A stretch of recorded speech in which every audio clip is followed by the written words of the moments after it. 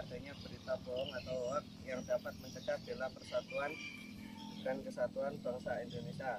Dua, kami masyarakat Kabupaten Pasir minta kepada pihak kepolisian negara kesatuan Republik Indonesia dapat mengusut tuntas terhadap para aktor yang menyebarkan berita hoax di Indonesia.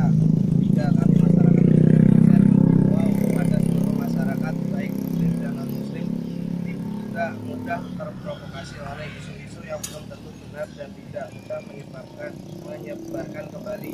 Empat, mari kita selamatkan Kabupaten Pasir dari berita yang tidak benar atau hoax dan ujaran kebencian sesuai moto Kabupaten Pasir, Pasir Queen kosong atau Pasir berhati baik.